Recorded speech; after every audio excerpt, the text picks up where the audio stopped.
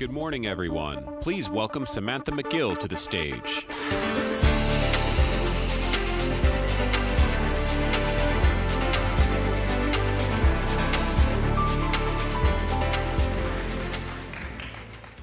Good morning, and welcome to day two of AIAA's 2024 SciTech Forum. As the voice of God said, I am Samantha McGill, Business Development Manager at the Aeronautics Research Directorate at NASA Langley. It's my pleasure to serve on the SciTech Guiding Coalition again this year. I'd also like to welcome our live stream audience. We're glad they can join us online and experience today's plenary session. So to begin the morning, we celebrate our award recipients as we will do each morning. So I'd like to invite Martika Post, the Aerospace Sciences Group Director, and Jeanette Dunbar, the Aerospace Design and Structures Group Director, to the stage to help present these awards.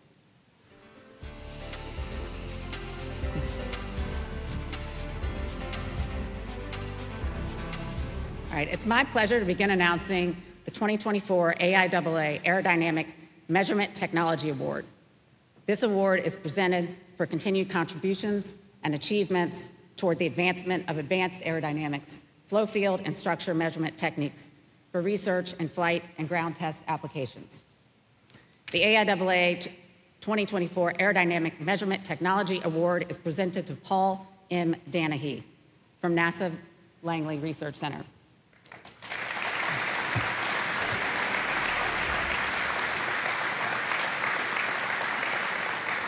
The citation reads, for the development and application of optical and laser-based measurement techniques supporting NASA's aeronautics and space exploration missions.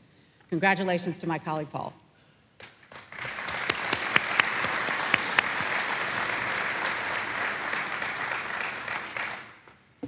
Next, the AIAA Mechanics and Control of Flight Award. This recognizes an outstanding recent technical or scientific contribution by an individual and the mechanics, guidance, or control of flight in the space or atmosphere. The 2024 AIAA Mechanics and Control of Flight Award is presented to David Mitchell.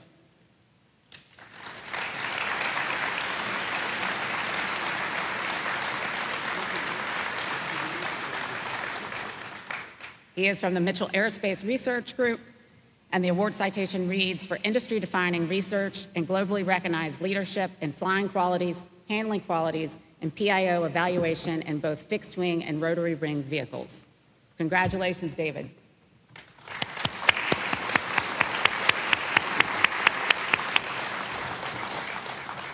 Next is the AIAA Structures, Structural Dynamics, and Materials Award. This award recognizes an individual has been responsible for an outstanding sustained technical or scientific contribution in aerospace structures, structural dynamics, or materials. The 2024 AIAA Structures, Structural Dynamics, and Materials Award is presented to Carlos E. S. Cesnik of the University of Michigan.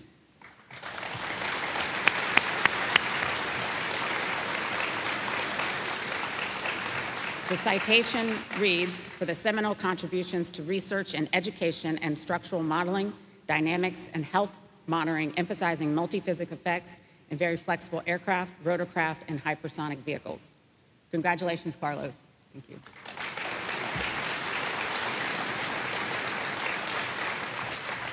Next, the AIAA Survivability Award recognizes an individual or a team for outstanding achievement or contribution in design, analysis, implementation, and or education of survivability in an aerospace system. The 2024 AIAA Survivability Award is presented to Gary C. Wollenweber of GE Aerospace.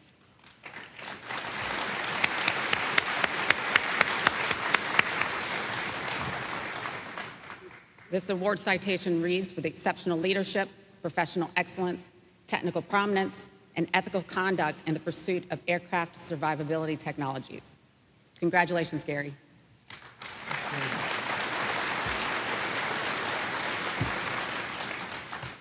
Finally, for this morning, we have the AIAA de Florez Award for Flight Simulation.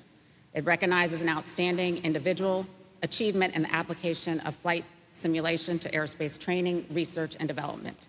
The AIAA 2024 de Florez Award for Flight Simulation is presented to Marinus Maria Van Paassen of Delft University. The award, yes.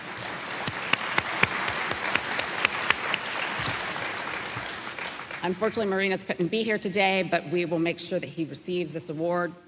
His citation reads for key contributions to the fields of human in the loop vehicle simulation, real time and distributed simulation software, and human factors. Congratulations to all our award recipients this morning.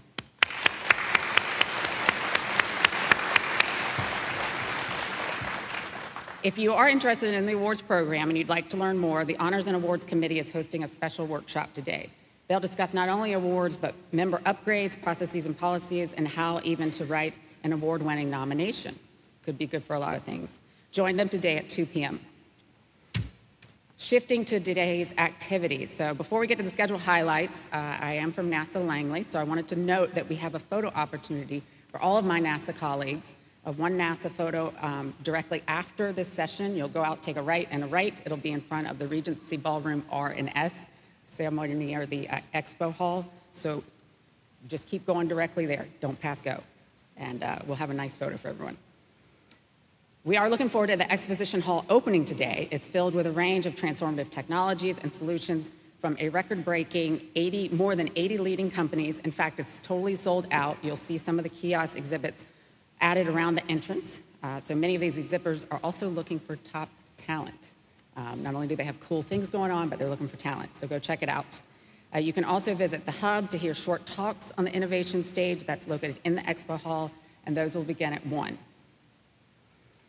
As we begin the program this morning, we remember our theme this week outside in, expand the boundaries.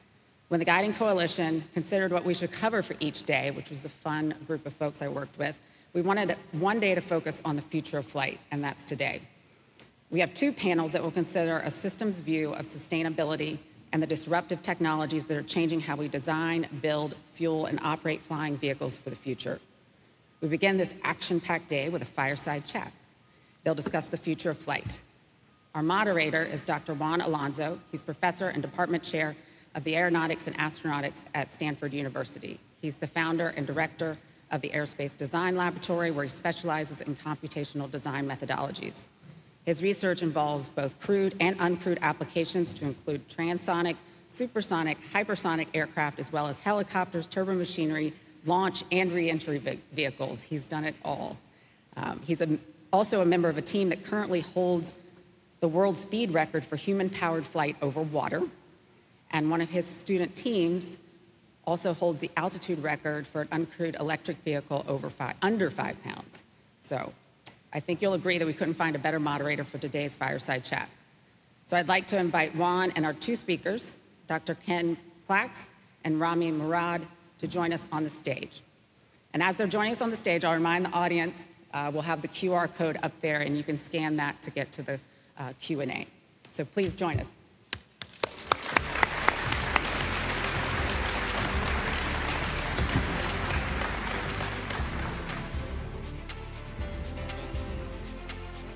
And good morning, everyone. Welcome to a, an open-ended session on the future of flight. Uh, this is a, a, session where we're going to try to explore the challenges and opportunities of flight, broadly defined to include both atmospheric and transatmospheric flight. So I, I think we're fortunate to live in a time where these challenges and opportunities abound. But the very nature of the challenges and the opportunities is such that they're interdisciplinary which means there's going to be additional requirements for integration and the ever presence of the requirement for absolute safety. So how will we tackle these challenges is, is of paramount importance. I, think many of us, or at least the panelists, but many, many of you in the audience also would agree that there's a strong sense that there is an unmistakable acceleration of the pace of technology. And somehow we have to integrate all contributions from various different places in order to make headway in advancing the future of flight, which will be the subject of today's discussion. So, so I'd like to start the panel by talking about three critical challenges, which I'll pose to the panelists, but also to you as a question that I personally think are sort of the, the guiding challenges for the future of flight for the next 20 years. So challenge number one is sustainability. How will we continue to grow the aerospace system and at the same time eliminate or minimize the environmental impacts. Uh, said in another way, how will we get to a commercial transportation in 2050 that actually has zero emissions? You know, there are many ingredients to this particular challenge, some of which we will discuss. And I, I, will tell you that electrification is one of them, which 15 years ago was a pipe dream. And now it's much better understood and has generated billions of dollars in investments. So sustainability is challenge number one. Challenge number two revolves around autonomy and AI. How will autonomy and AI impact the types of flight systems that we're going to be developing over the next few years, over the next 10, 20 years? So from perception to decision making to coordination to networks to position navigation and time and the security of those PNT signals, and not least of all to AI safety and verifiability. How will all those technologies play into aviation and AI in order to produce future flight systems?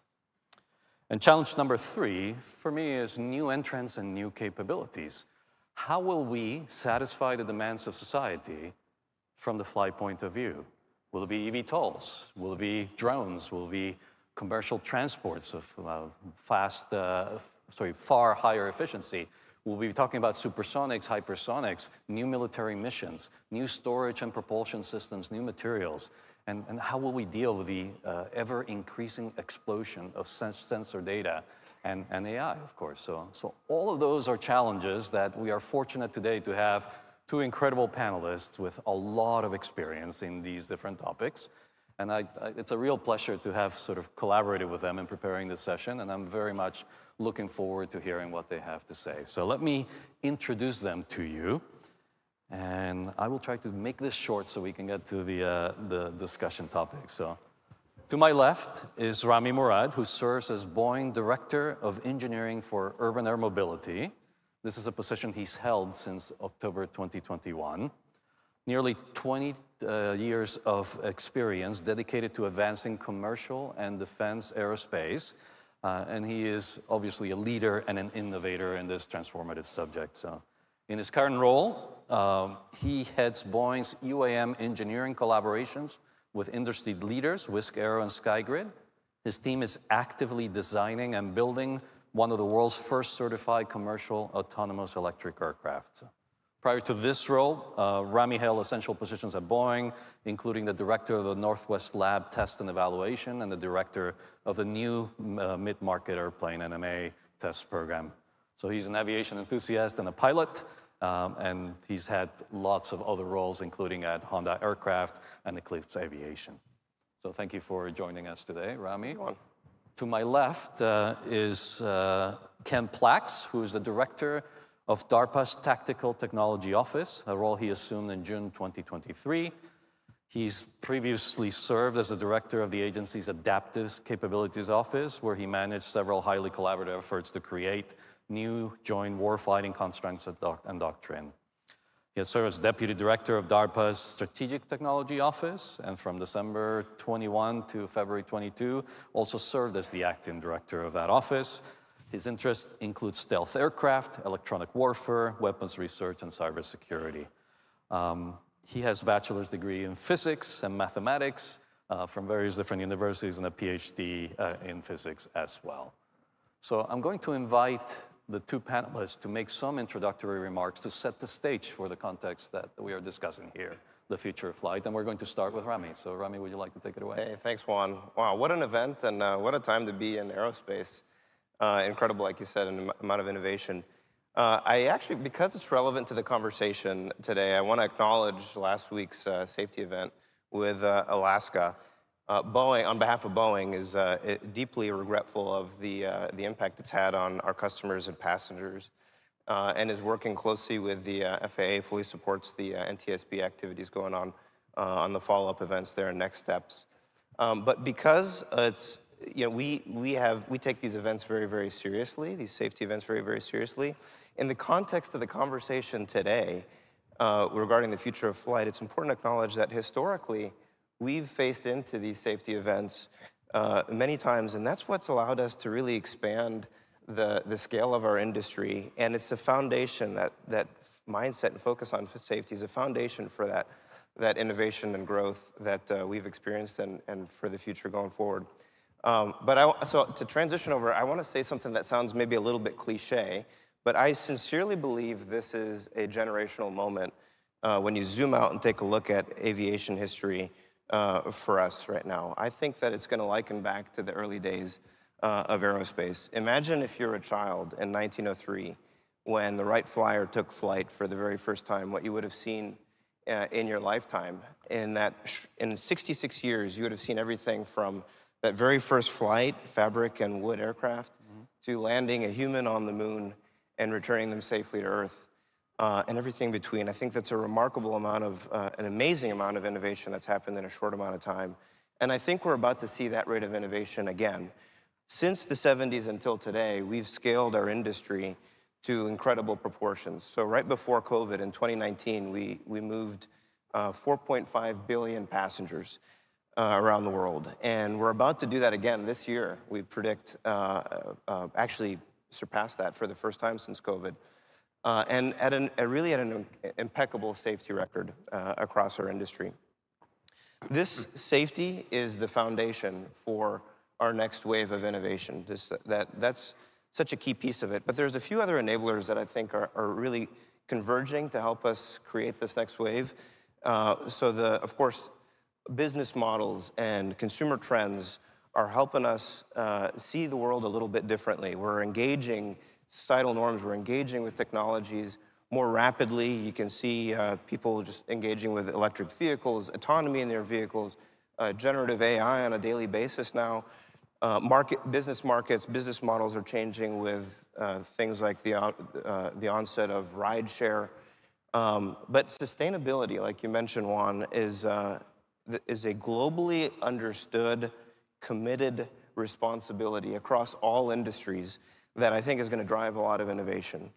Um, all that to say, now that technologies have matured to a point where we can, across industries, uh, accelerate the application into, uh, uh, from other industries, even into, uh, into aerospace.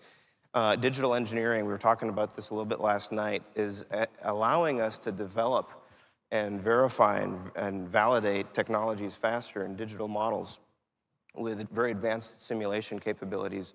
Electrification, like the, the Wisk aircraft you see behind me, uh, and other eVTOL is allowing us to rethink aircraft configurations in a whole new way. We, we can put 12 lifting fans on an aircraft configuration now without uh, a whole bunch of gearboxes and transmissions. And that allows us to have a lot more safety and redundancy with just running high voltage um, wire from the battery to the motors versus all the, uh, the mechanical systems. And that gives us uh, opportunity to come up with these new advanced uh, and very different configurations. But I think autonomy is going to be a key. I think autonomy is going to be a theme for the next century uh, of, of aerospace development that's going to allow us to safely scale uh, in different ways, in ways that we haven't even imagined yet. Uh, so like the early days of aerospace, uh, I don't think someone in 1903 could have imagined sending someone to the moon and back in their lifetime. I think we're going to have, at this moment in time, uh, maybe some of you have, uh, have, have a vision for 66 years what we might imagine, but I think it might be hard for us to, to even predict what we're about to see with the convergence of these events. So the Boeing portfolio, uh, just a few examples behind me, the X66, the X65 is, uh, and of course Wisk is uh, really leaning into these, these enablers and, uh, and game changers, and I'm pretty excited to see what, we, what we're about to build. Thank you for those intro comments, uh, Rami. So I'm going to turn it over to Ken for his perspective also on the future of flight. Uh, thanks. Um, so I'm going to kind of focus more on the military side of the, uh, of, of, the question. And if you were to try to figure out, you know, in the past what was coming in the military, looking at what DARPA was doing is usually a good way to kind of figure out what's coming. You know, certainly the mission of DARPA is trying to figure out what's next. Uh, so just, uh, you know, a couple, a smattering, there's a whole bunch of these uh, you know, that I could have put on the chart. Uh, things like Have Blue, the, the prototype for the stealth fighter. Uh, uh, interestingly, when DARPA was doing that, a significant fraction of the Air Force was like, why would we want to be invisible? We just need a bigger jammer, right? And, and, and uh, you know, so they didn't even, you know, the, a lot of times the military acquisition system, the big acquisition system that involves Boeing and such is we'll write requirements and, and, and then tell you what we want. And we'll try to imagine what the world's going to be like in 20 or 30 years. And, and then we write requirements what we think we want. And then, of course, we're wrong about what the world looks like and, and what we want changes, which causes things to drag out. And it, it's a really big, complicated thing. And, and uh, um, and I'll talk about this a little later, but you know, part of I think what we need to do, you know, the, the defense industry uh, on, on, the aviation side has really collapsed, not collapsed, co consolidated um, uh, to an extraordinary degree, where you've basically got Boeing, Lockheed, and Northrop that can build airplanes. There are, you know, niche airplanes that done by other folks. Um, and then there's this gigantic ecosystem of innovators uh, that are coming. And, and uh, um, the, the, the, question is, how do we harness that? I'll, I'll, talk a little bit about that later, uh, about things we're doing, at least at DARPA, to try to harness some of that innovation. You know, it, it, it's a little anticlimactic if you ever come to DARPA and, and visit. It's, it's, just an office building. We don't have labs, and you know, we don't have aliens in the basement or anything like that. And, and uh, uh, a, a, lot of what uh, being a DARPA PM is, uh, program manager is, is, is really like leading your community. Uh, so, you know, the folks that, that I have doing aviation now, like Rich Wlezien, who's leading the X-65, uh, uh, Uh, uh, or Tabitha Dodson, who, who's leading the DRACO uh, nuclear thermal rocket program, you know, they're actually not in their office creating, you know, additive manufactured rocket parts. That, that's not what they're doing. You know, they're actually leading large teams of people across the nation trying to accomplish things. Um, so, you know, again, you can see some of the things we've done with, you know, Global Hawk was kind of a, a, a, play. You're seeing the results of Global Hawk, a completely autonomous. Predator could be on here too. That actually started as a DARPA program uh, what we've done in space. Uh, interestingly, you know, like Falcon 9 is, is a fantastic rocket. Falcon 1 was a DARPA program, you know, a, a long time ago. Um, uh, can you go to the next slide, please? So if you want to know what's coming, this is what we're doing, a, sampling of what we're doing now. Uh, the active flow control, uh, the idea that you could fly without actually having moving control surfaces.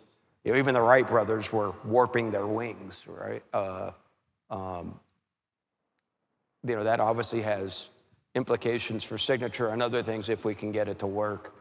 Uh, working with Boeing and, and, and Aurora Flight Sciences. Um, I talked about consolidation.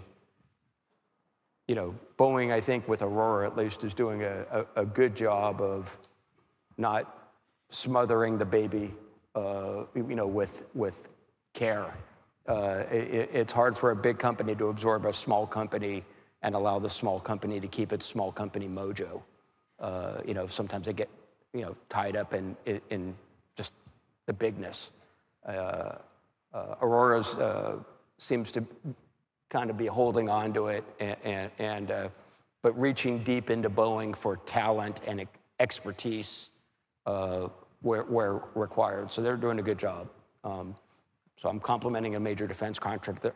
That doesn't happen often. Um, but uh, uh, uh, Longshot is a uh, kind of an autonomous vehicle that can deploy air-to-air missiles well forward of the launching aircraft. So again, you've got autonomy and, and kind of smallness and cheapness. Those are things that we're working on. Um, uh, REMA is trying to figure out how to, you know, take what's happening in Ukraine and take it to the next level of adding autonomy to things that were not really designed to be autonomous. Uh, a Liberty Lifter is going to be another X-plane when we build it. And this is a C-130 sized uh, seaplane that can actually get up out of ground effect. It cruises in ground effect and you save the 30% drag. Uh, so kind of you know, some of the cargo capacity of a, of a small ship, but the speed of an airplane. Uh, as the United States pivots to the Pacific, uh, you know, distance becomes a big thing. You know, the Army, the Marines, the Air Force are all talking about playing shell games on the islands. But if you're tethered to a runway, it's not too hard to figure out. Or just take out the, uh, the, the runways, and it doesn't matter where on the island they are, they can't get supplies. And they're, it's a, it's a, they're mission ineffective. Uh, so Liberty Lifter, excuse me, is a, an attempt to open up all the coasts of all the islands in the, in the Pacific. And interestingly, we're, you know, that wasn't hard enough uh, at DARPA, right? Um, so we're building it the way you build a boat, not the way you build an airplane. Uh, it turns out, if you look at the price per pound of an airplane versus the price per pound of a boat, there's an order of magnitude or two difference. It's significantly cheaper to build a boat. Things like, you know, aircraft aluminum, you, you can't weld right? You got a, you got a rivet, whereas you can weld and repair boat aluminum, maritime aluminum. Um, so the, the, the, lead on that program is actually a naval architect, not an aerodynamicist. Uh, and so he, he's used to a much denser fluid. Uh, and then, you know, I, I guess I, I kind of talked a little bit about Draco, a nuclear thermal rocket. You know, as, as we get further and start doing things and commercializing space, you need not just efficiency, but actual thrust, you know, magnitude. Uh, and so that is a good compromise getting you both. Uh, there's other stuff going on uh, that I, you know, I'm not gonna, you know, 30 years ago I couldn't have told you about the stealth fighter, uh, uh, and there's stuff I can't tell you about now, but uh, you know, that's kind of a smattering of what's coming down the pipe. Yeah. Well, thank you, Ken. Yeah. I really appreciate those comments. Yeah. Let, let me just jump into questions directly about the future flight. And I'll remind the audience that periodically you'll see a QR code and a, a website where you can also enter your own questions, which we'll get to in the second half of this panel. But uh, let, let, me start with you, Rami, if you don't mind. Uh, um, we're, smack in the middle of this advanced air mobility, maybe more specifically urban air mobility movement. Uh, and there have been lots of new entrants recently, including Boeing with the acquisition of Wisk. Uh, so what, what do you think is driving all this focus and what role does this movement have in the future of flight? Uh, thanks, Juan. and thank you, Ken, for the, the compliment on the integration with, with Aurora. I'll tell you, that's actually a, a, very key intentional strategy. Aurora is incredible. Wisk is incredible. And they're very focused on their, their products. So that one plus one equals three mindset is a really key component uh, in our relationship. From a Wisk uh, perspective, we've actually, uh, yeah, we acquired Wisk uh, last year, but we've been working with Wisk for about uh, five years now, and Wisk has been around for 14 years. Uh, they've, they started with this idea around electrification, and original pioneers in this space really a, a while back. looking at very key milestones. I think what they may have been the first to actually transition an electric takeoff, vertical takeoff to forward wingborne flight.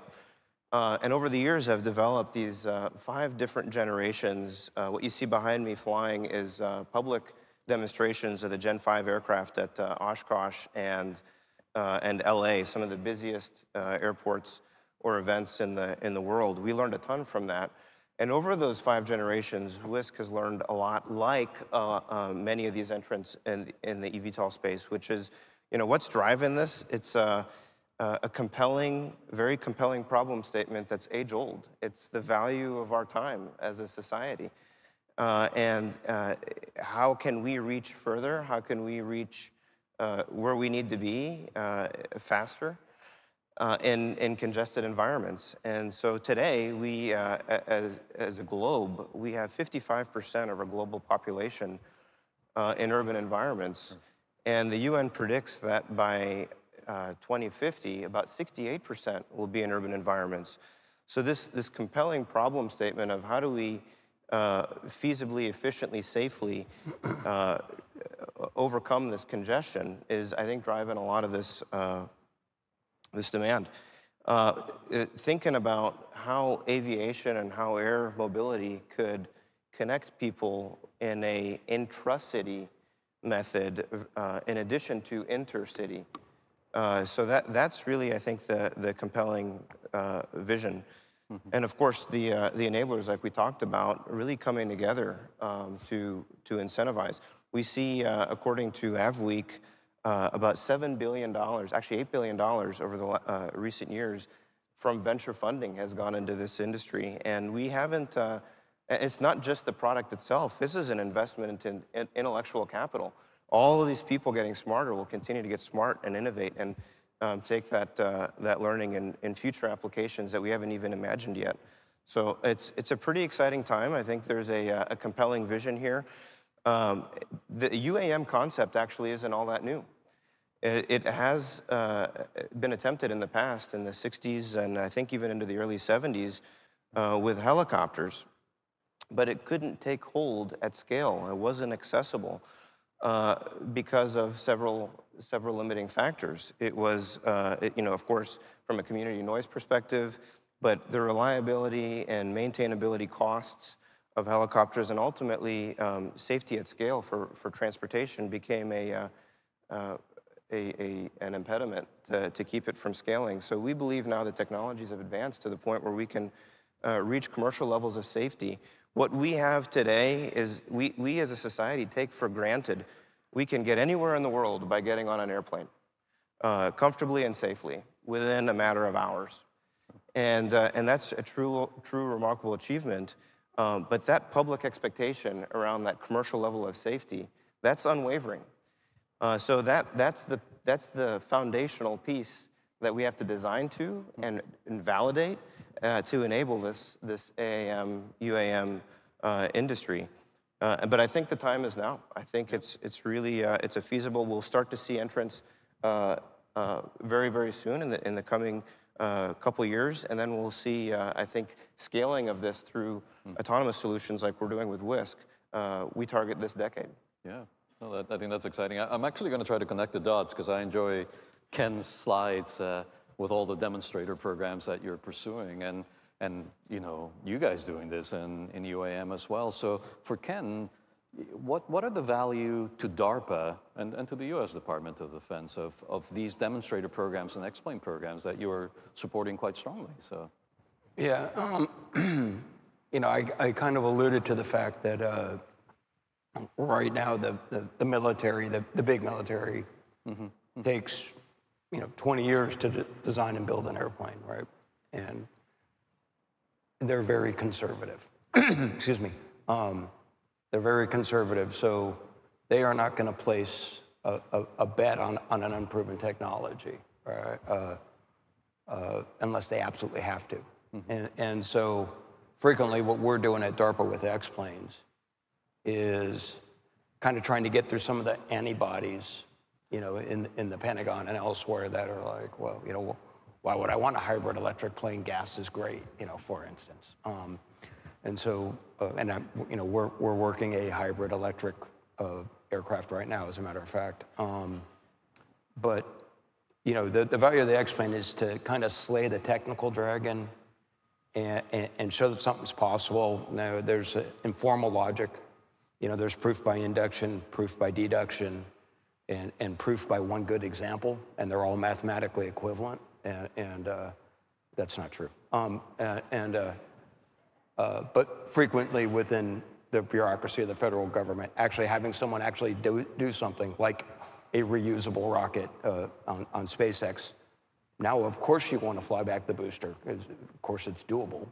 Um, uh, and after someone does it for the first time, well, of course, it's possible. Sure. Sure. Uh, so, so that's where we tend to do with our X-planes.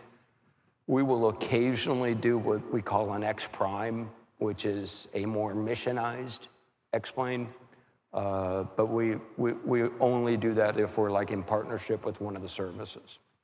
Yeah, yeah. No, I think that's quite exciting. Uh, on the topic of autonomy, which will impact X-planes, but also UAM, and I brought up as one of the challenges that I think we have to face over the next uh, 20 years or so, you, have been sort of smack in the middle of that as well at, at Wisk. Uh, and Wisk has been outspoken about the fact that UAM to succeed has to enable autonomy uh, from the get-go, essentially. So can you tell us a little bit more about why that choice and what are the challenges associated with that particular choice? So- Yeah, thanks, Juan.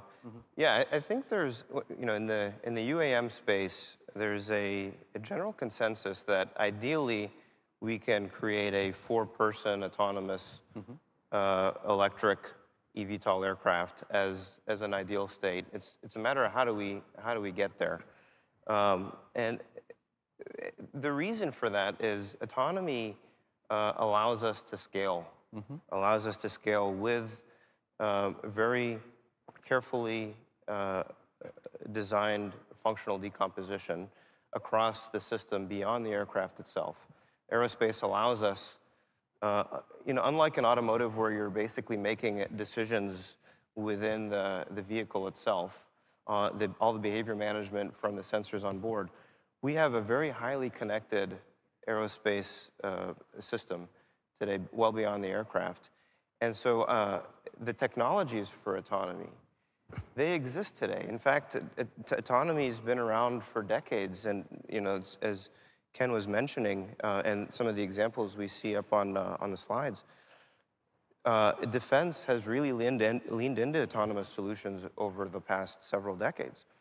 Going forward, I think we're going to start to see autonomy uh, make its way into the commercial space uh, a lot more because of the benefits that we've developed and noticed.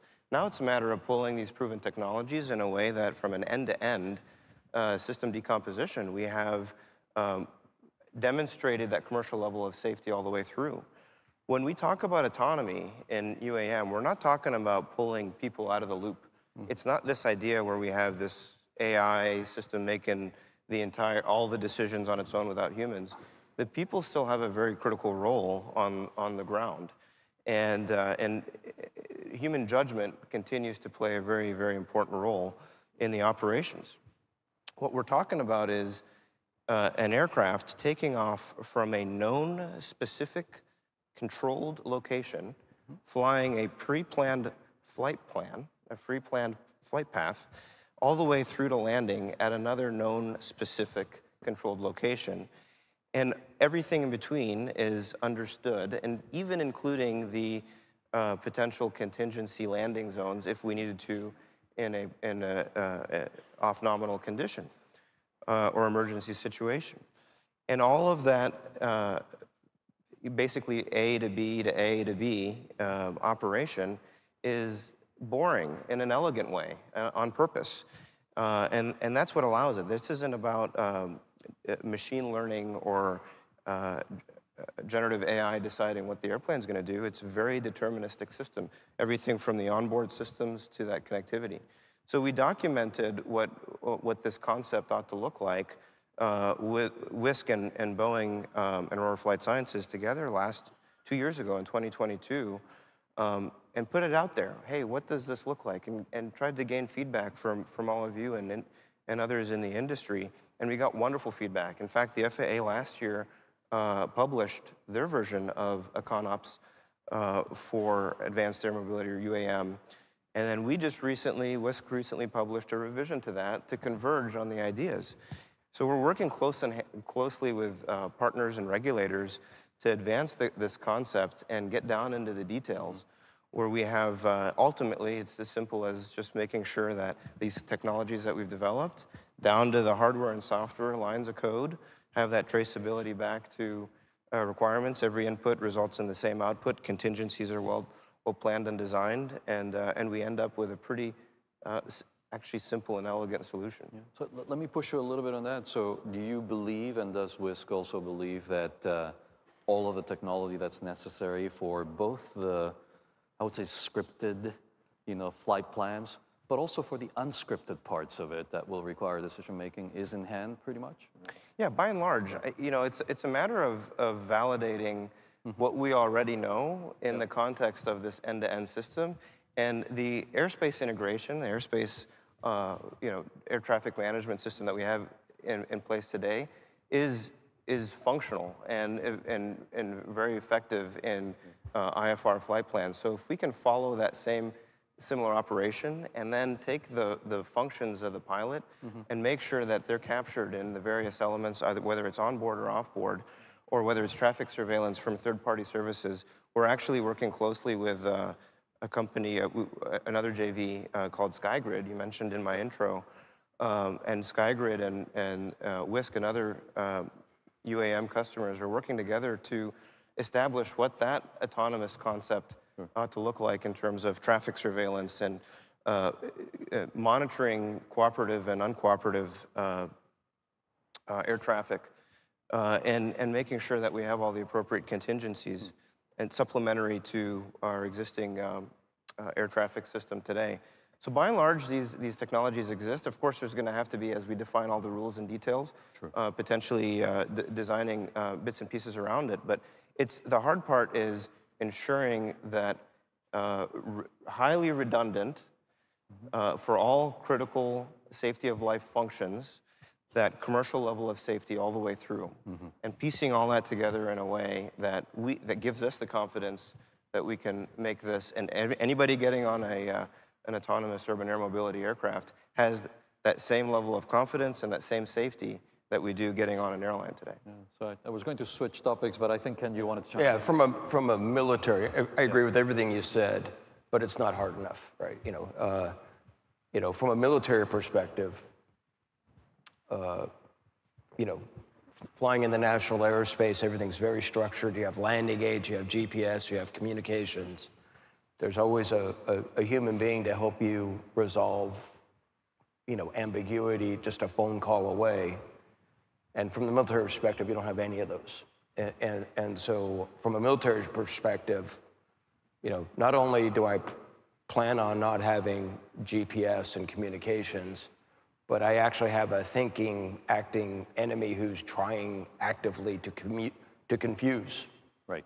You know, the AI. Uh, uh, so it's a much, much, much harder problem. Mm -hmm. um, uh, so we we have several programs. You probably saw about a year ago uh, the dogfighting robot. And some poor fighter pilot got into the simulator with this robot who beat him five shots in a row.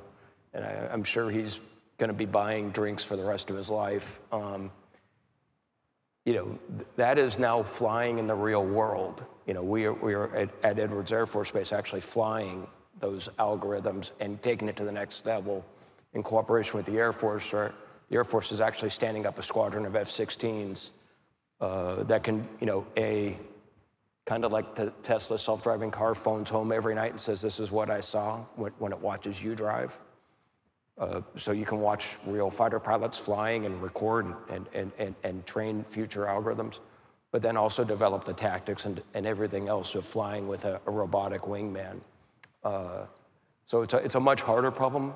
It's also uh, uh, important because we want to get the people. You're, you're trying to protect people, and that's fantastic. The way we're trying to protect people is to get them out of the cockpit. Um, you know, when we run war games with a robot aircraft in them, the answer, you know, the results are much better, but the robots tend to die, uh, which is wh why you built them in the first place. Mm -hmm. No, thanks, Ken, for interjecting there. So I, am going to switch topics and get to Ken, but uh, please notice that the QR code is up there. I know a number of people are already submitting questions, but feel free to submit new questions, but also upvote them so we can get to them in the next few minutes. So Ken, we, we are rapidly uh, approaching the second anniversary of the Ukraine conflict. And we've learned many lessons about flight in sort of the military setting. So can can you tell us a little bit uh, what, what DARPA thinks and what you think? Yeah, uh, sure. What are new capabilities? What are important things we've discovered, et cetera, et cetera, that may influence the future of flight? So. Okay. Um, yeah. So I, I have a talk I give, and I've got a picture of, you know, Vicksburg in 1863, and and and, you know uh, Verdun in 1917 and Bakhmut last year. And other than being the Bakhmut one being in color, they all look the same, trench warfare. And, and, and my, my punchline is that, you know, kind of life sucks without air superiority. Um, you know, because if, if you can't fly, and what we're seeing in Ukraine, what the military calls uh, A2AD, anti-access area denial, basically surface air missiles and everything. If you can't fly, you're stuck to this attritional ground war. You can't maneuver. You know, if you watch on YouTube or on, on Twitter, you know, any mechanized vehicle that tries to make a move gets rather rapidly blown up by these little quadcopters. Um, and so, you know, we, we had started, you know, the military answer for this for years was stealth. I'm going to be invisible to the radars and sensors that are trying to find me. And there are no stealth airplanes currently flying in, in Ukraine. But stealth isn't magic, and if you get close enough to the radar, he'll eventually see you, right? Um, and, and in, in an environment like that where both sides have an anti-access area denial bubble up, anything bigger than about a quadcopter dies. And you're, you're, they're shooting down 30 and 40 of the Iranian Shahed drones every night. Uh, if those were crewed vehicles, those would be like World War II casualty numbers uh, for some of the big, you know, raids. So while you could try to make better stealth, and the United States is, you know, we're always trying to make it better, although what we tend to do now is trying to make it more maintainable, you know, et cetera. Um, you know, you kind of got to embrace the suck and try to deal with it, right? And, and, and, so, how do you deal with it? Well, one is you can go really fast mm-hmm. uh, and maneuver. Uh, so, hypersonics, I know you're a hypersonic guy. The Russians used hypersonic missiles for the first time.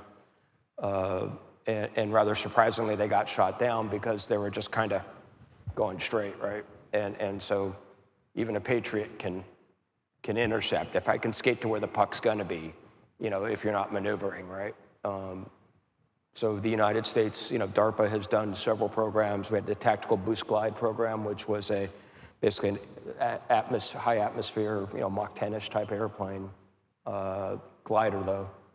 Uh, we also had what we called the HAWC program, the Hypersonic Air Breathing Weapons Concept, which became HACM. Uh, so there's the hypersonic cruise missile uh, that the Air Force is building.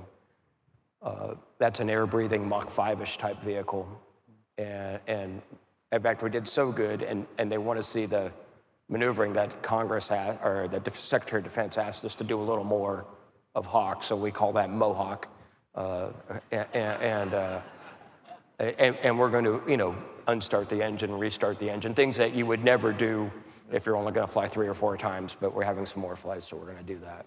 Um, so, so Ken, I'm laughing a little bit because one of the questions that's been upvoted mostly is, what is your favorite DARPA acronym? oh. Well, first of all, most of them aren't acronyms, they're backronyms, right? So you, you figure out the word that you want, and then you kind of try to, you know, come up with letters that make it happen.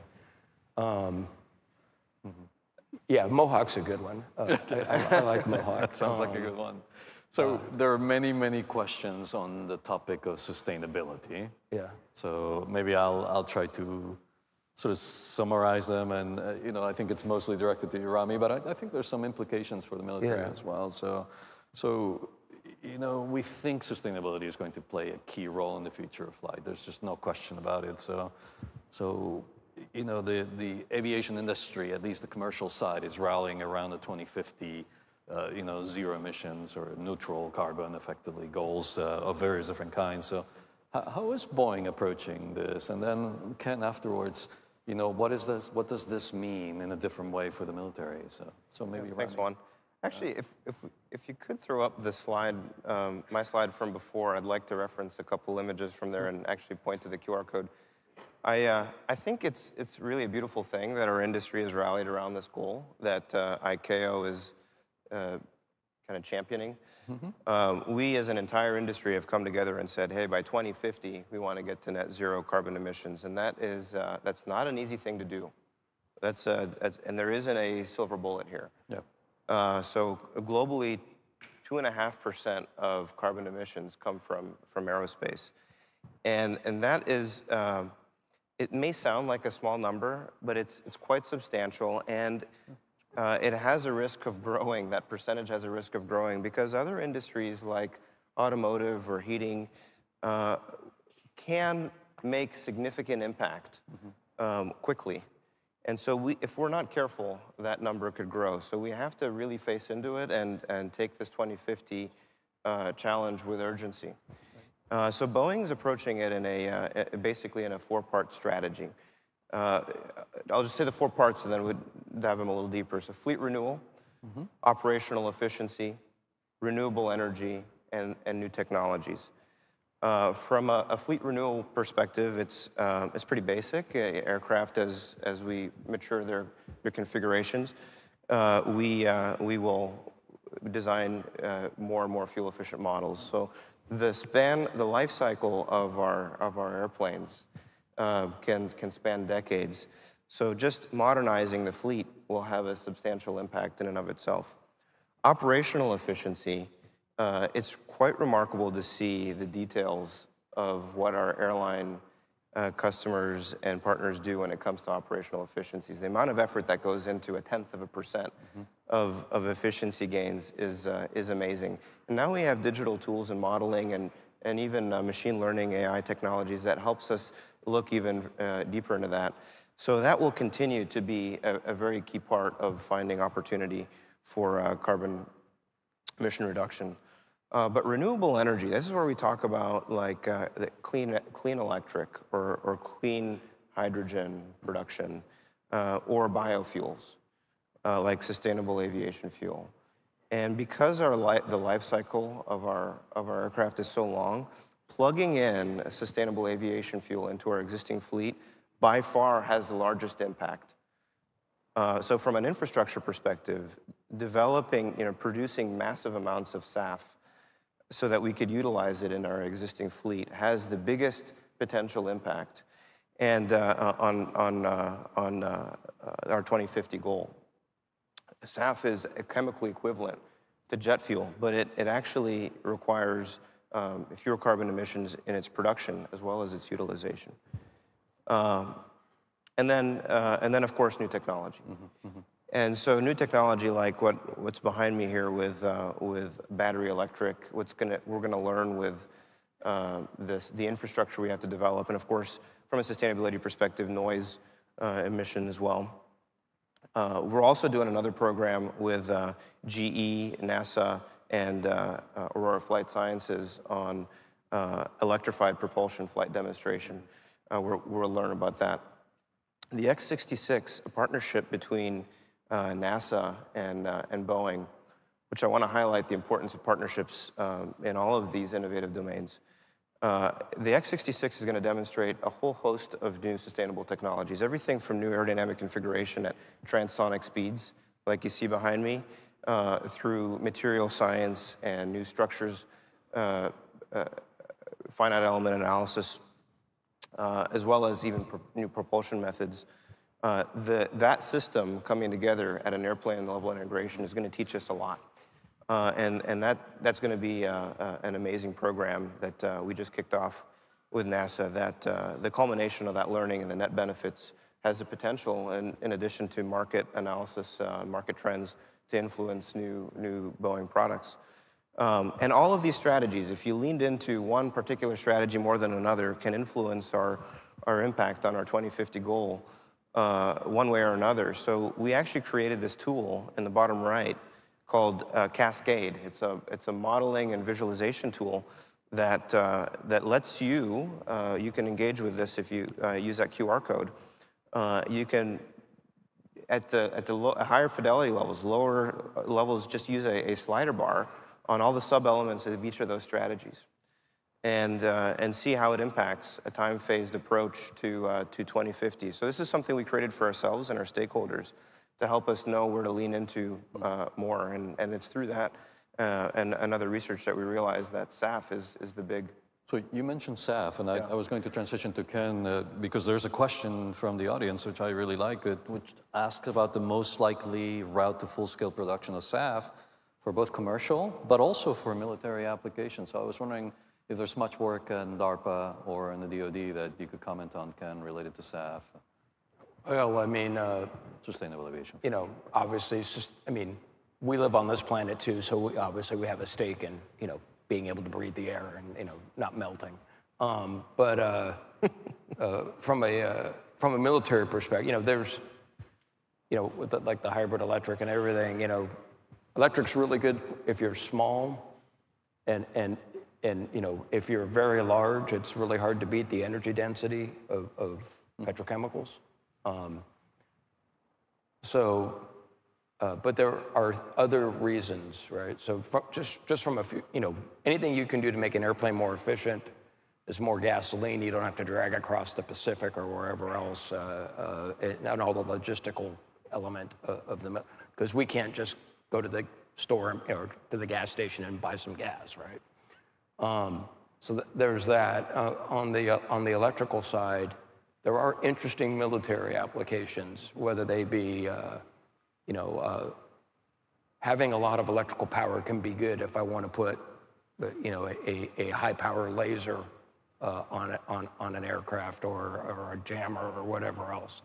So that we tend to focus more on that aspect uh, uh, of, of this argument, but we will gladly, it would be rude of us not to take advantage of the billions of dollars of investment that the, the commercial folks are doing. I have to say we have to give credit where credit's due. You know, it was the Air Force who began thinking about SAF uh, for many other transport aircraft for, Yeah. for energy security Yeah. reasons. Let's be clear, but uh, but that's what got this whole thing going. Yeah.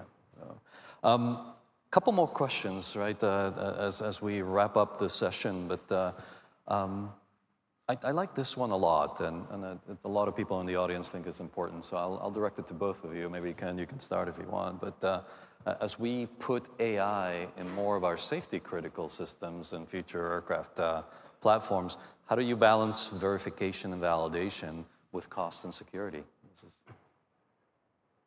who wants to take it? Um, I'll, I'll take a crack at it, I guess. You know, um, Let's start with the verification and validation. yeah. Well, and then there's the other thing that, you know, nobody wants to create Skynet, right? Yeah. You know, from you know the Terminator, right? So, uh, you know, we actually are doing what we call ethical, legal, societal implication when we uh, develop a, an AI system. We started doing that, excuse me, with uh, some of the medical stuff we've been doing, you know, like, you know, the, you know, the mRNA vaccine and stuff like that. Um, and, but the idea is, is, you know, they're, you know, they're, they don't say no, but they make sure you think through what you're doing and, and are actually thinking about the implications and, you know, beyond just the science. Sometimes as engineers and scientists, you get so fixated, it, it's hard to think through like, yeah, but what does that mean, right? So we try to do that. We try not to be evil. Um, uh, as far as validation, you know, I think, you know, uh, you know, uh, there's an, uh, there's a, a, tale, I don't know if it's true or not, that, you know, when they first started teaching the Teslas how to drive by watching people, the Teslas started breaking all the laws, right? Because people, you know, do rolling stops and et cetera. Um, excuse me. And so, uh, um, and I, and I was a flight test guy when I, when, when I was in the Air Force. So uh, the, the, the, the problem with AI is, you know, the old school stuff, you explode up into this hyperdimensional space and then try to collapse it down, and so it's very nonlinear. The, the new stuff i- is just, you know, statistical inference, and again, it's very nonlinear. A- and you know, I think the way you analyze a nonlinear system is you fi- kind of try to find the island of stability and, and, and kind of hang out there and, and don't go to the edges because it's, it's, it's really hard to predict what's going to happen. That's not a satisfying answer, but I think realistically, you know, that's what we're going to have to do. But I think you're, I think you're spot on. I, you know, uh, I think AI, generative AI, has an, is going to play a significant role in the next generation of engineering development. I think it's going to play a role in how we do our work and live our lives. I think it's going to be amazing. Um, but I don't, I don't see a place for that in safety critical systems uh, today or, or in the near future. I think to be, um, to be certifiable, and this is a good thing, every output has to be predictable. And we do that by having a, um, uh, an end-to-end traceability from requirements to output that we can point to and say, when I, when, when I do this, that will happen every time, and it's not going to change. Uh, That's critical for safety, safety critical systems, for safety of life systems. So when we get into uh, autonomy, it's not the same as saying generative AI equals autonomy. Autonomy is such a loaded word. In fact, we went through a time where we, we were putting coins in a jar if, if an engineer used autonomy because it's not specific enough. We wanted to just, um, but it's, it's, you know, AI, I think, will change how we live and work, and it's going to have applications in driving, very important applications in driving efficiencies, in, in uh, applications and operations. But I don't see generative AI playing a role in, in safety critical autonomy. One thing I forgot to say. Quick. Yeah, quick. I know. Oh, wow, we're out of time. Um, you know, one, one, I told you we've got the uh, the dogfighting robot. We took it out of the simulator and put it into the real airplane now. One of the things you can do is kind of put a hypervisor on top of the autonomy. So, for instance, we put in all the normal training rules: don't get within a thousand feet. You know, nose right goes right. All the normal training rules that fighter pilots use. We actually bolted that in on top, and so it's watching what the robot's doing, and then say, no, you can't do that. Yep. So maybe the computer can save us from the computer. Uh, uh, so. Well, I'm afraid we've run out of time, but thank you very much, gentlemen. I would like to remind people that at 10 a.m., there's a Forum 360 panel on the systems view of sustainability for those of you who've asked questions about this, this topic so we can follow up. Uh, please check out the program and see all the technical sessions and the special sessions that we have today. And on behalf of AIAA, I would like to thank the two speakers and present them with one of the coins here. So, thank you.